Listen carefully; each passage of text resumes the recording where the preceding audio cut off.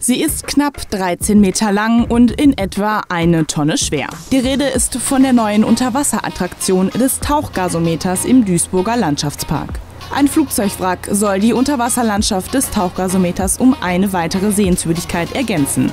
Das größte Indoor-Tauchzentrum Europas hat keine Kosten und Mühen gescheut, um Hobby- und Profitauchern ein einzigartiges Taucherlebnis zu bieten.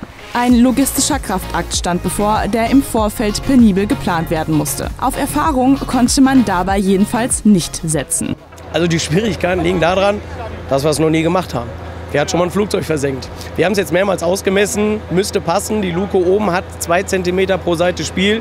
Ist nicht viel, passt aber. Und da wurde es auch schon ernst. Ein Schwerlastkran hiefte den Flugzeugrumpf etwa 30 Meter in die Luft.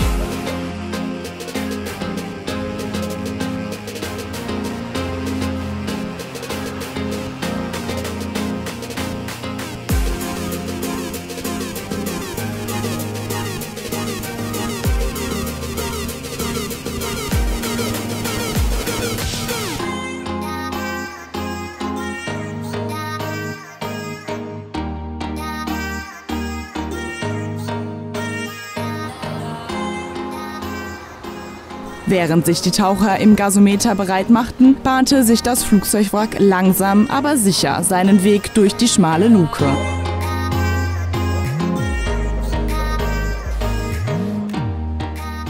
Im Wasser angekommen wurde das Flugzeug mit Luftpolstern und Muskelkraft in eine waagerechte Position gebracht, um schließlich sicher im 13 Meter tiefen Tauchbecken zu versinken.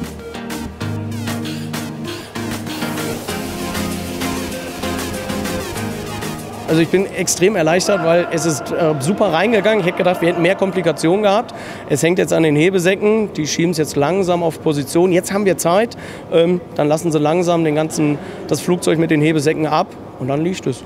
Auf dem Grund des Beckens gesellt sich das neue Unterwasserspielzeug zu diversen anderen Gegenständen, wie zwei Autokarosserien und einem Schiffswrack. Weitere Attraktionen sollen den Spielplatz für Taucher auch in Zukunft noch ergänzen.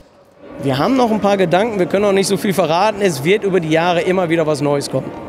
Wir sind gespannt, was sich das Tauchrevier-Team um Christian Patzak noch für ihren Unterwasserspielplatz einfallen lässt.